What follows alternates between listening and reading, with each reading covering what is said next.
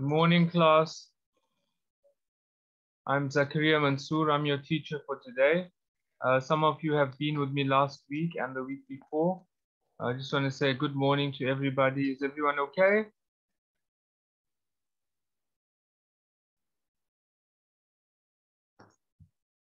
Hope you're having a good uh, Saturday morning. Must have been a long day at school. Uh, I'm going to be your life sciences teacher if you if you weren't here last week. Um, I love biology, so let's get on with it.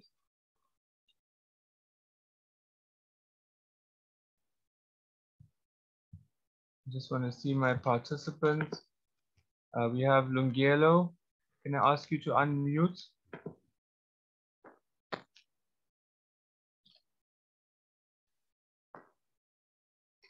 Is Pomelo there? Yes, sir. Morning, Lungelo. How are you? Morning, Sam. Doing good. Excellent. Uh, is Pomelo there? I'm here. Uh, hello, Pamela. Were you here last week? No, I wasn't. Okay, excellent.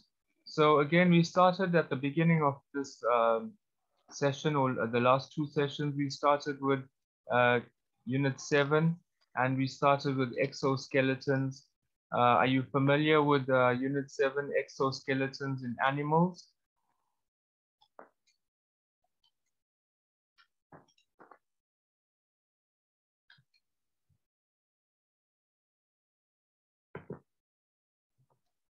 No, we haven't started with it at school yet. Okay, so what unit did you guys stop at? Uh, we just finished with plant tissues.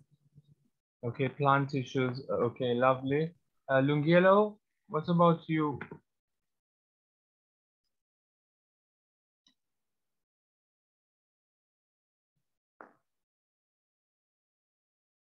Lungelo? Um, we are still in, we just finished plant tissues too.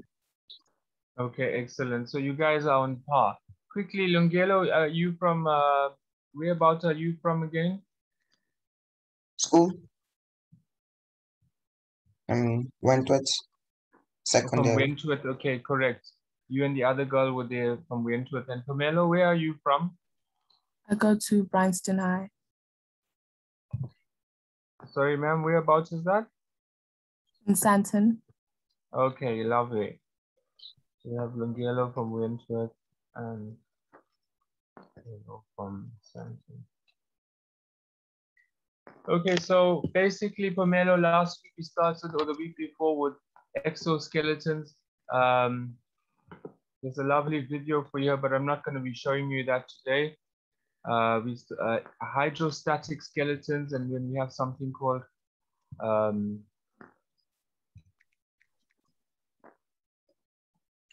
so we have hemocoels uh, types of tissue uh, in the exoskeleton. But before we're going to go on to that, um, just refreshing your memory from these things. If you look at the pictures here, uh, it's similar to what you have in your study book. So basically, let's look at uh, this vertebra, this animal here, this aquatic animal. What is it?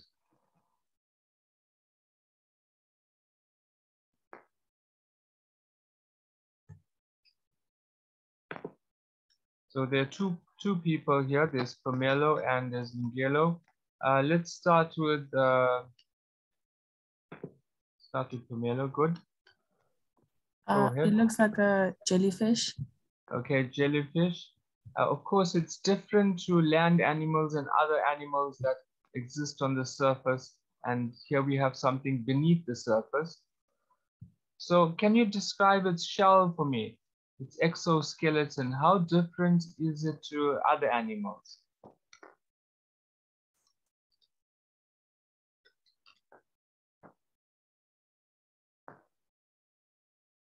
If you, Pomelo, had to look at this picture compared to the next one, how different is this to that? So we have another crustacean here. If you look at the, the bones are chitinous, but like you can see the structure is different. What can you how can you differentiate between this one and this one here?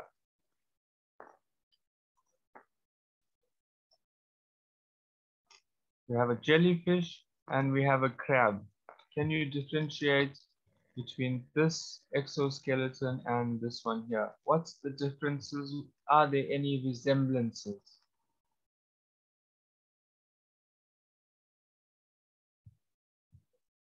I'm going to start with uh. Uh, I just want to say between Lungelo and Pomelo, if you have, if you want to say something at any minute, just unmute. It's fine because I want to have a conversation and not feel like you're in the classroom. The the jellyfish looks like has a soft exoskeleton. I don't think it has a, an exoskeleton. Yes, so, so basically in this case here, it starts off from the center, of course, when it's a baby or when it's a small infant, and then it grows out, and this is its exoskeleton. Because remember, what is the function of an exoskeleton? Remember last week we we did um, there was that animal that we saw, the one that had like plates on it. Um, can't remember yes. the name of it. Armadillo. It was called armadillo. So it was covered like a tank. So that's its exoskeleton, but this one is its exoskeleton. Of course, it is. Can you tell me about the density between the density between the two? So I want to know what do you think about the density between this one and the next one? So let's go to the to um, Melo. Can you describe this one here now?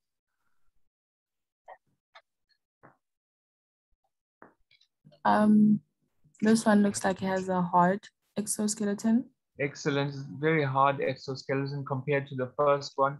What would be, now if this one is hard and the other one is soft, what would be the predator for the soft one and what would be the predator for this hard one? Let's go with Lungelo. What do you think would be the predator?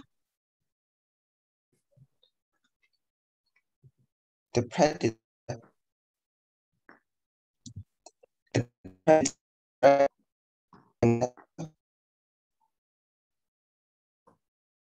have some um, back end communication. Go on, go on. So, so I didn't quite get the question.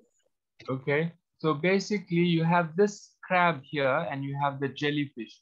What would be the normal predator for this one? What would come and kill this crab compared to the other jellyfish? The, the crab will be the predator. Yes, but of course in nature we have a pyramid scheme. So example, a tiger would eat a warthog. What animal do you think would eat this crab? Because look at it, it's huge. It's not like a small baby crab, you know, like it's not like a small crab that will fit on your plate. This crab is like the yes. size of this human. Maybe humans? Yes, possibly humans would be a natural predator to this excellent. Um, I'm thinking if it was, I can't think of a, a lion eating this or even a donkey. So or an an an eagle or a seal. Uh, yes, excellent, excellent. A seal would definitely eat this as well as a probably a whale, a walrus, maybe even um, so other any other fish and stuff like a group of fish, sharks, they would probably eat this. So excellent. The natural predators for this would be uh, fish. And as you said, like birds, you have coconut vultures, uh, but of course other vultures would eat this. So it does have natural predators. Excellent. I just want to go back to the other one. Uh, Pumelo, are you there? What would be the natural predator for fish here?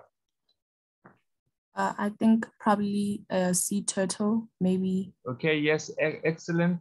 There's one, there's one specifically that's very kind of carnivorous. It's called a snapper turtle. It, the head of it looks like a snake, but you're right.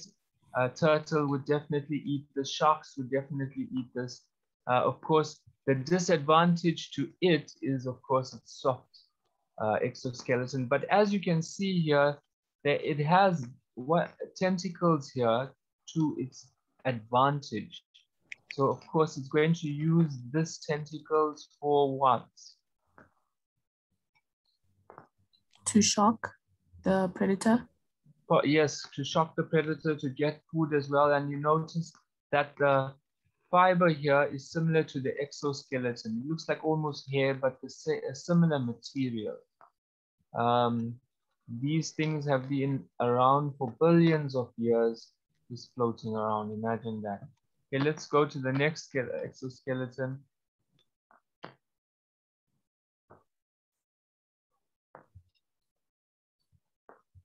Okay, so here we have a fish. Looks kind of weird, but it's actually huge. Um, looks similar to a fish called a dorado. Okay, so we have two to describe here, two different exoskeletons. Uh, which one are you gonna take, Lungelo? I take the, the beetle. Okay, good. You got the beetle and Nello has this fish here. Okay, quickly, let's describe the, the fish Pomelo. Let's start with like, exoskeleton. Yes, it looks like it has a soft exoskeleton on the sides. It does uh, look like it's soft, like almost marshmallow. Huh? Yes. Okay, carry on. And the top of the head. It looks like it probably has a hard exoskeleton. Looks like a hard skull in there. So of course, we have a, a, the skeletal structure inside. Like a normal fish would just have bones going down here, but this one it has a, like a hump there. Um, yes. I'm thinking, you know, when you have like other animals like goats and stuff, they normally have a thick head here because they headbutt. Have you seen other like goats and other cows headbutting each other? So this, the structure of this, I, I haven't seen these fish headbutt anything, but it's kind of weird. Of course, it's adaptation or uh, it's evolutionary to this fish as well. If you look at the top here, you can see that its exoskeleton is, is not that powerful compared to strong compared to like a rhino's probably, but as you can see, it does have injuries here. Uh, natural predator to this one would possibly be one of these fins. I don't know if you can see, but there's like a black tip shark here. Uh, that could be a natural predator. Let's go to the next one. We have a beetle here. Yes, go on, Lungelo.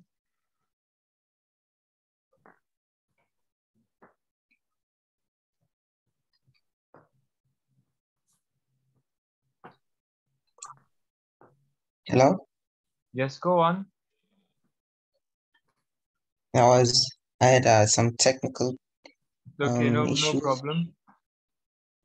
Then can you repeat the question? Yes, so we described the fish exoskeleton. Let's go to the next one, the beetle.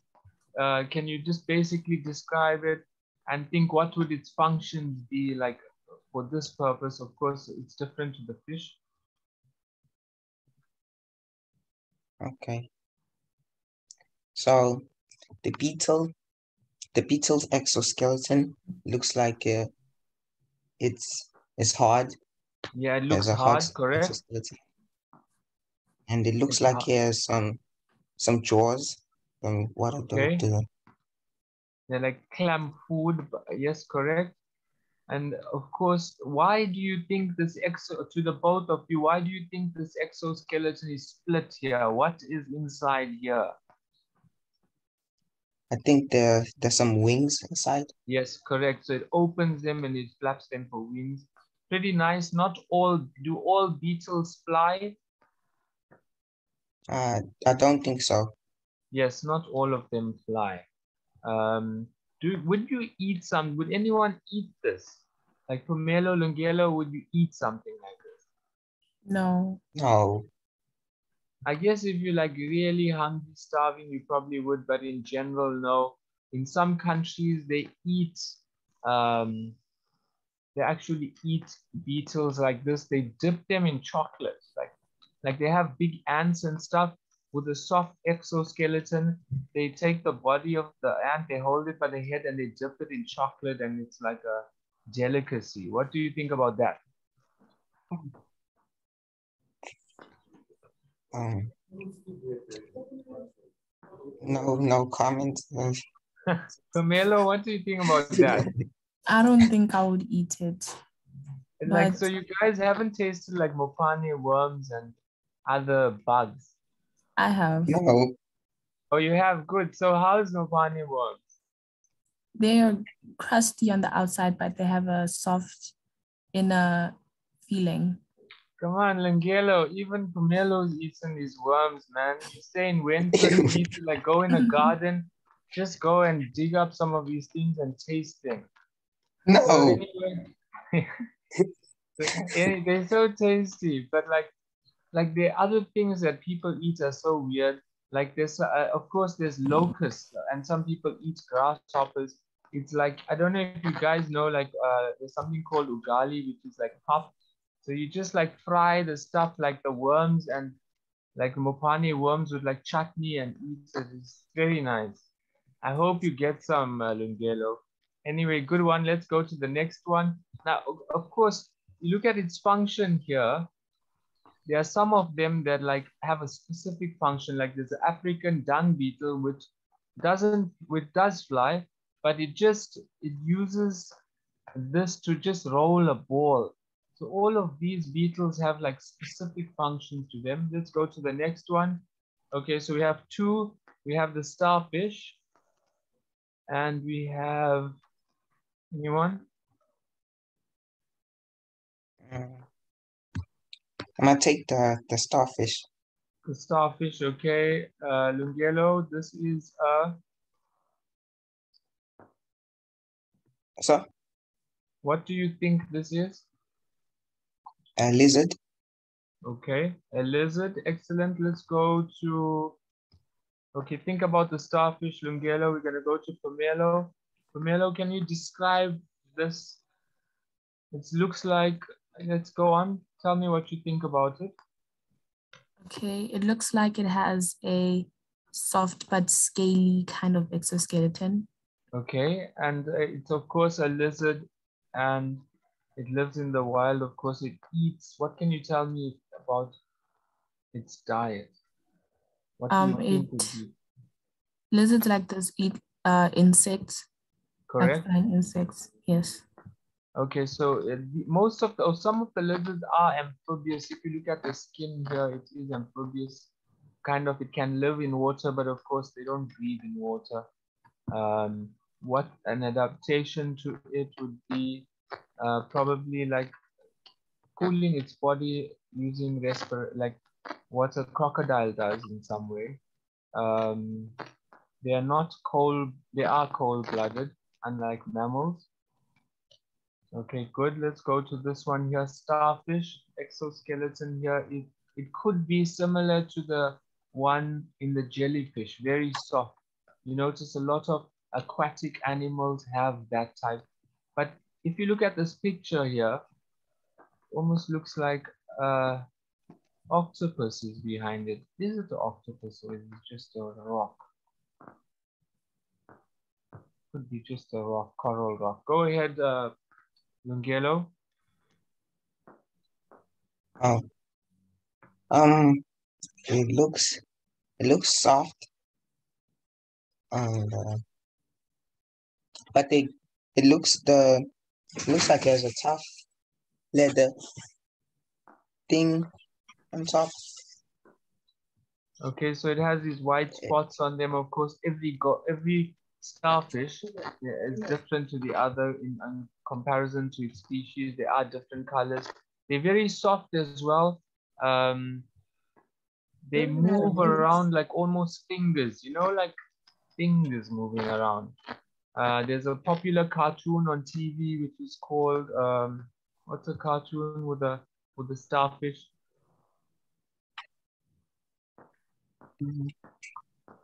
Isn't it SpongeBob? SpongeBob in SquarePants. Do you know SpongeBob in SquarePants? Of course.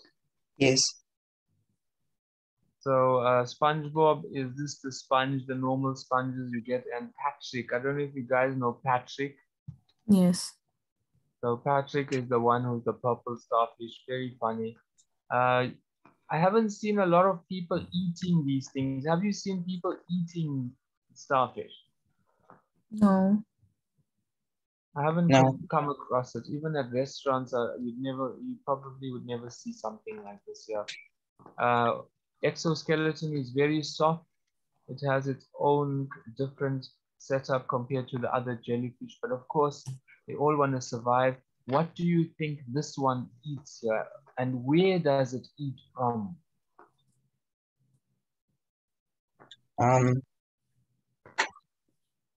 it looks like it it's um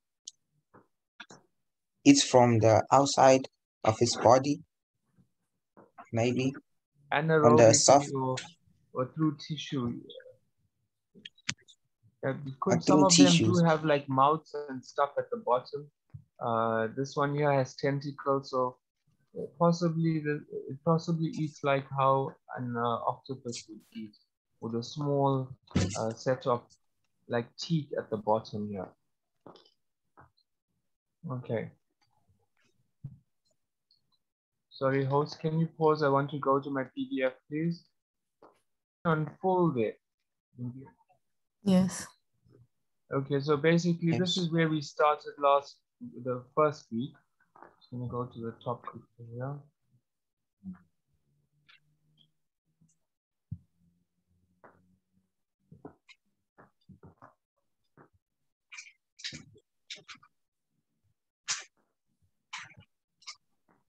Okay, so this is what you guys are studying at school.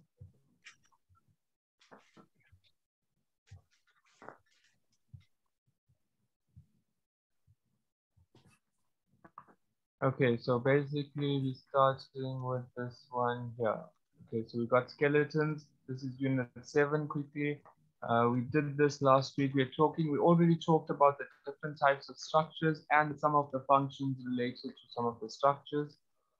Uh, some of the main types of skeletons found in, in living things are the hydrostatic skeleton.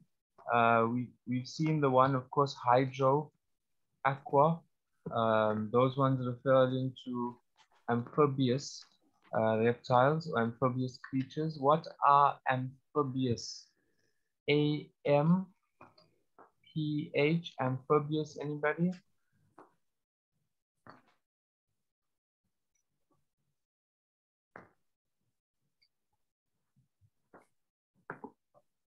Amphibious, amphibious are like the ones that live, anybody?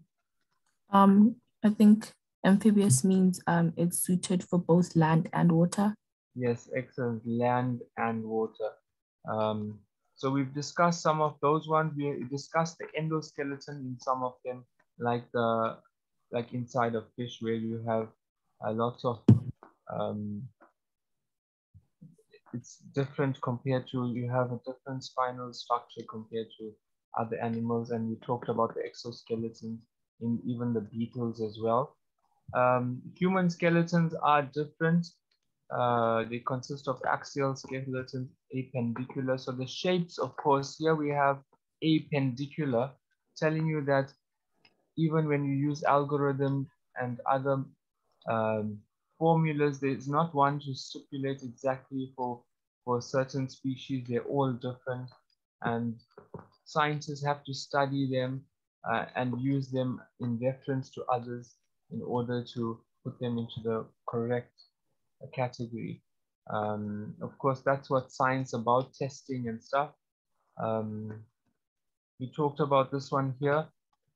The bones, the cartilages, tendons, ligaments are important structures between the skeletons and the movement, of course. So this one here is for, for skeletons. It's important to understand the relationship between structure and function of bones.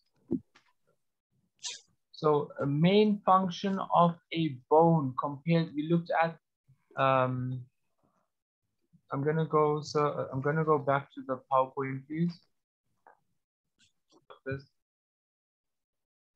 So as you see here, we talked about how this one, of course, is not amphibious, but if you had to take this jellyfish and put it on a table, what would happen to the structure? So I'm going to take the jellyfish, put it on a table in front of us. Would it stand up straight? No. No. No, of, of course.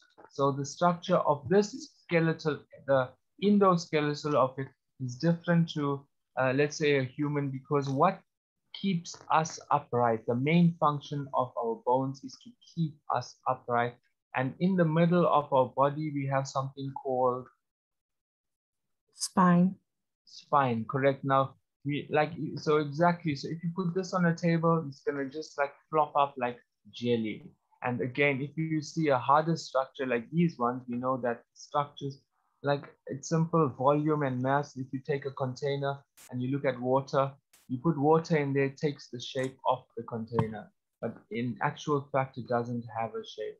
So when you look at the stuff that's inside, so you have two types of, of fluid. So one is called the, the, the coelom.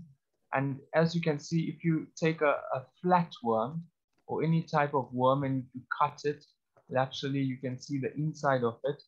Uh, so you have tissue, uh, and that tissue is the coelom, this part here. Uh, of course, in different worms or different animals, you have different tissue structures here. The commonality in all of them is this mesoderm region here.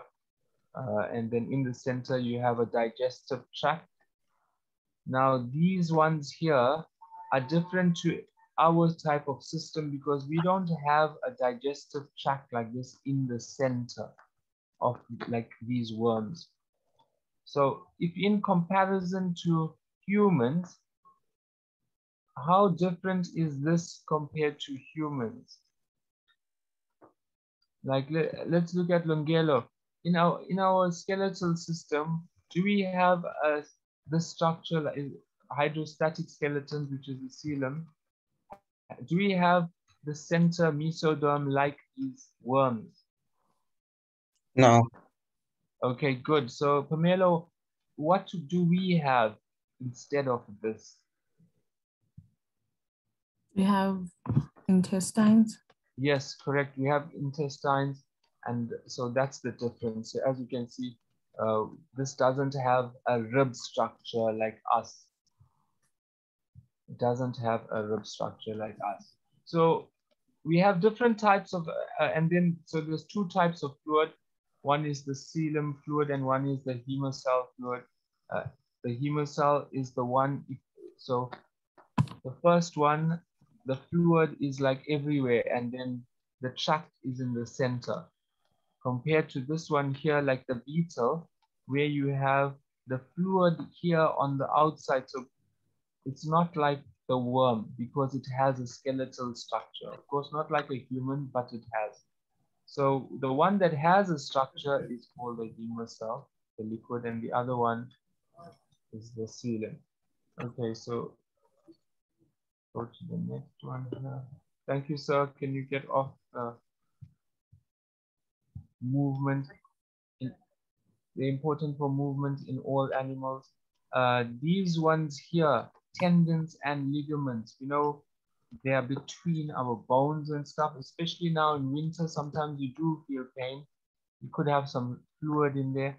Um, the people that suffer the most with these kind of pains in their tendons and ligaments, like in your knee, most of them are like sports related. Most of them are sports related or injury related. Uh, of course, we have synovial joints as well. Uh, these are where your joint, where they basically function for for movement. Um, the next page. Okay, so the three types of skeletons, namely that exist: hydrostatic. Hydrostatic again comes from hydro, uh, I don't know if you guys play uh, watch Avengers and stuff, but there's a whole like fan base of the Hydra gang. But anyway, they're related to water. Water experts. Water exerts pressure on muscular walls for ample, for example, in jellyfish. We talked about jellyfish. Exoskeleton, grasshoppers or prawns, very similar. Uh, and the endoskeleton vertebrates, um, example, like humans. Okay, let's see the other one. We talked about this one here. Um, I want to show you something here.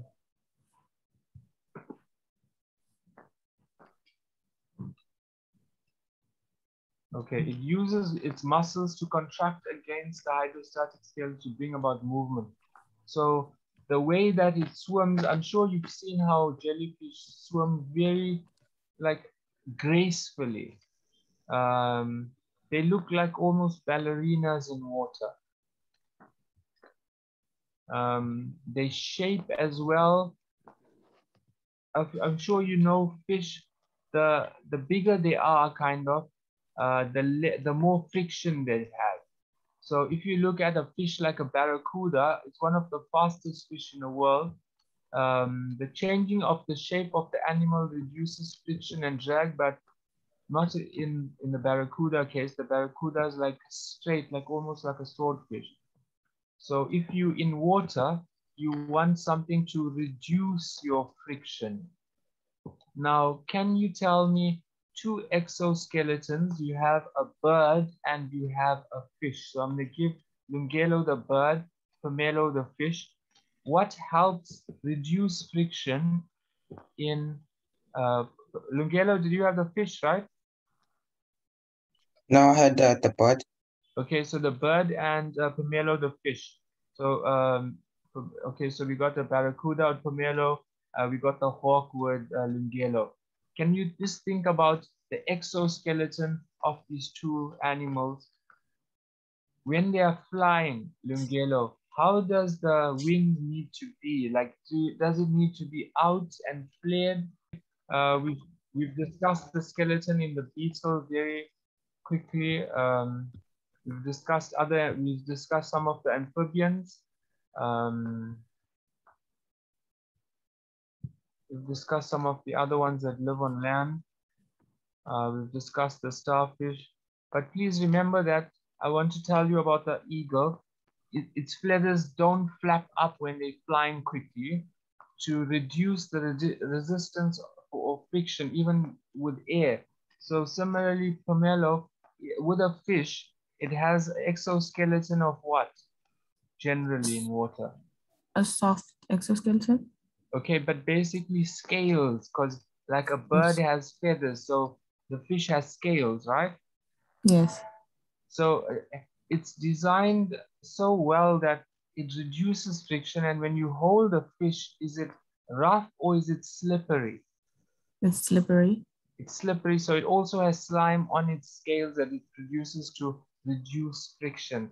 So I just want to show you like in all cases, like for especially flying quickly and moving quickly in the water, exoskeletons, they adapt very well or the animals adapt very well to these different types of conditions. Um, I'm going to wrap up. Uh, next week, we're going to continue where we stopped. I uh, hope you guys have a good weekend. Does anybody have any questions? If you do have a question, please remember the last one that I asked you, if you can just do some research on that.